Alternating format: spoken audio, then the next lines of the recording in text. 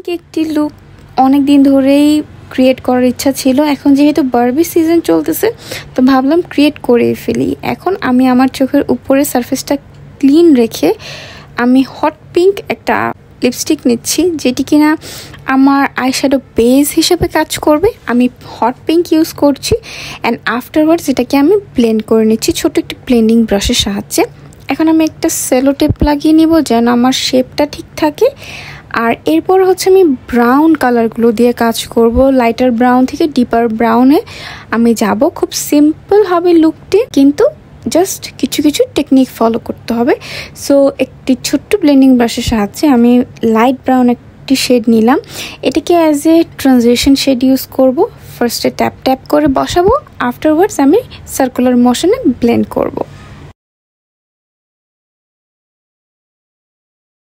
এবার একটি deep brown shade নিব। আরেকটা স্টিভ একটা ব্রাশের সাহায্যে। এবার এটাকে আমি সামনের দিকে তাকিয়ে চোখটাকে রিল্যাক্স করে আমার ক্রিজ লাইনের ন্যাচারাল ক্রিজ লাইনের উপরে একটা লাইন ক্রিয়েট করব। যেহেতু আমি অলমোস্ট এটা কাট ক্রিজ টাইপের করছি সো আমার জন্য এইভাবে আই শ্যাডোটা অ্যাপ্লাই করাটা আমার চোখের শেপ অনুযায়ী ভালো হয়। অ্যান্ড আফটার ওয়ার্ডস আমি একটা ক্লিন ব্রাশ নিয়ে, আমি সার্কুলার মোশনের উপরের যে সার্কেলটা সেটাকে ব্লেন্ড করে নিব। আরও একটি ছোট ব্রাশের সাহায্যে আমি ডিপ ব্রাউন কালারটি নিচ্ছি এবং আমার ক্রিজ লাইন অ্যান্ড আউটার ভিটাকে ডিফাইন করে নিচ্ছি। এবার আমি হচ্ছে কনসিলার নেব, একটা লাইট কনসিলার নেব। এটা দিয়ে আমি হচ্ছে আমার যে কাট ক্রিজটা হাফ কাট ক্রিজটা এটাকে ড্র করে নিচ্ছি অ্যান্ড আমি হচ্ছে একটা লাইটার মভিশ একটা পিঙ্ক কালার নিয়ে এটা দিয়ে আমি সেট করে নিচ্ছি। এবার হচ্ছে আমি একটা গ্লিটার লাইন ক্রিয়েট করব, যেখানে আমার ক্রিজ লাইনটা শেষ হয়েছে। সো ফার্স্টে আমি গ্লু দিয়ে নিচ্ছি, বা লিকুইড আইলাইনারও দিয়ে নিতে পারো তোমরা।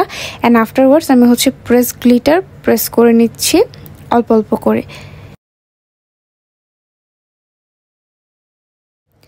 ট্যাগ লাইনিং করে নিচ্ছি একটি কাজলের সাহায্যে। এবার হচ্ছে আমি একটা ব্ল্যাক কালার আইশ্যাডো নেব অ্যান্ড চিকন একটা ব্রাশের সাহায্যে আমি হচ্ছে থিন একটা আইলাইনারের মতো লাইন ড্র করে নিব। এটা হচ্ছে খুব সফট একটা লুক দিবে অ্যান্ড আইলাইনারের মতো তো ডিপ কিছু দিবে না।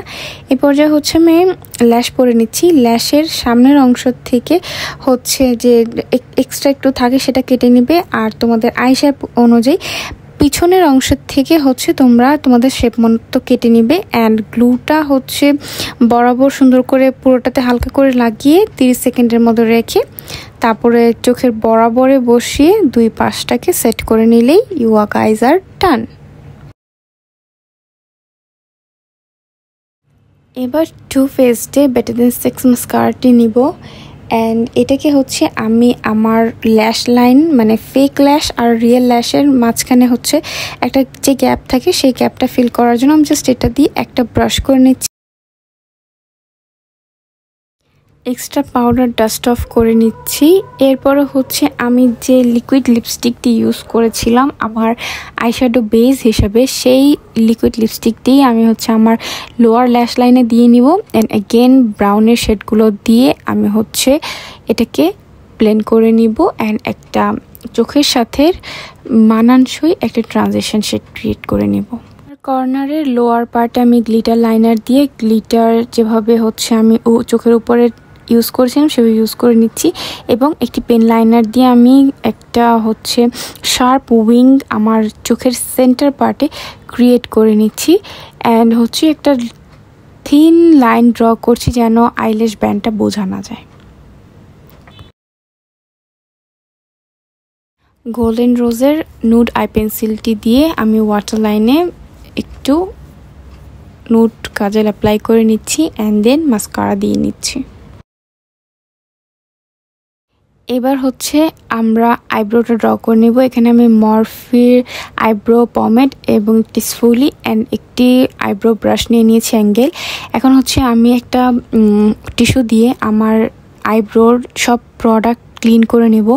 অ্যান্ড হচ্ছে অল্প একটু লুজ পাউডার নিয়ে আমি আমার পুরো ইসে ভালো করে ডাস্ট করে নিব অল্প একটু পাউডার অ্যান্ড আমি হচ্ছে আইব্রোটাকে ব্রাশ করে নিচের দিকে ডাউনওয়ার্ডসে আমি রাখব। অ্যান্ড দেন আমার স্পার্স এরিয়াগুলোকে দেখে দেখে আমি খুব লাইটলি খুব লাইটলি ওই এরিয়াগুলোকে ফিল ইন করব।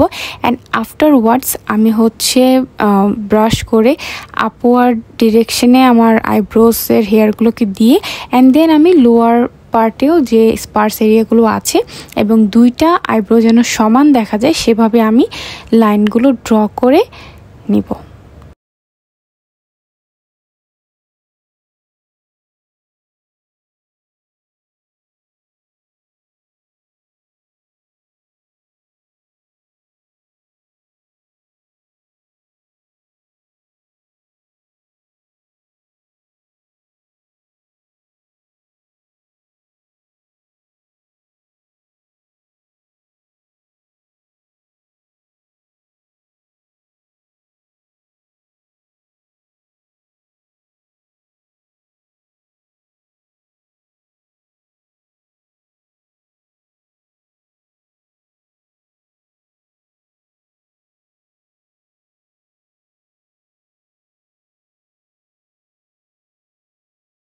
আইব্রোসটাকে ফিল ইন করা শেষ? এখন হচ্ছে আমরা ক্লিন আপ করব। একটা ছোট্ট কনসিলার ব্রাশে অল্প করে কনসিলার নিব এবং আমাদের যে এক্সট্রা লাইনগুলো বা মেসি জায়গাগুলো, ওই জায়গাগুলোকে ক্লিন করে আমি হচ্ছে আমার আইব্রোটাকে খুব শার্প একটা লুক দেব।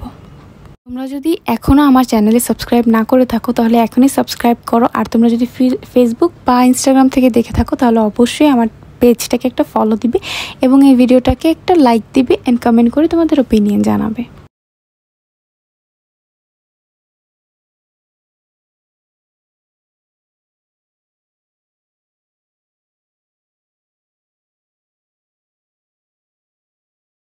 আমি পুরো ভাইফটাই পিঙ্ক রাখতে চেয়েছি এই জন্য হাইলাইটারটাও আমি হচ্ছে পিঙ্ক কালারের মধ্যে ইউজ করব। ব্রাউবন এবং ইনার কর্নারকে আমি সেম পিঙ্ক কালারের হাইলাইটার দিয়ে বাইশ্যাডো দিয়ে আমি হাইলাইট করে নিচ্ছি। এইবার হচ্ছে ব্লাশে পালা। আমার কন্ট্রোরিং ব্লাশ অ্যান্ড হাইলাইটার যে টেকনিকটা এটা নিয়ে এন্টায়ার একটা আলাদা ভিডিও আছে, যেটা কিনা আমি এর আগেই পোস্ট করেছি আমার সোশ্যাল মিডিয়াগুলোতে সো তোমরা অবশ্যই এটা চেক করে নিতে পারো। এবার হচ্ছে আমরা লিপস্টিকে চলে যাচ্ছি। লিপস্টিকের জন্য আমি আবার আমার লিপটাকে ক্লিন করে নিচ্ছি যে লিপস্টিকটি দিয়ে আমি হচ্ছে আমার আইশ্যাডো বেস এবং হচ্ছে আমার ব্লাশটা অ্যাপ্লাই করেছিলাম সেম ওটা দিয়ে আমি একটা আউটলাইন ড্র করে নিব। আফটার দ্যাট দ্যাট আমি হচ্ছে পিঙ্ক ফ্লাশের এই লিপ গ্লসটি অ্যাপ্লাই করে নিব। প্রত্যেকটা ব্র্যান্ড এবং শেড নেম এভরিথিং আপনারা হচ্ছে কমেন্ট সেকশানে অর ডিসক্রিপশানে পেয়ে যাবেন। এখানে আমি দুইটা গ্লস ইউজ করছি, একটা কালারের জন্য আরেকটা হচ্ছে এটার স্পার্ক ফিলিং যে ফেক্টটা এটার জন্য and that's it for today I hope you guys enjoyed it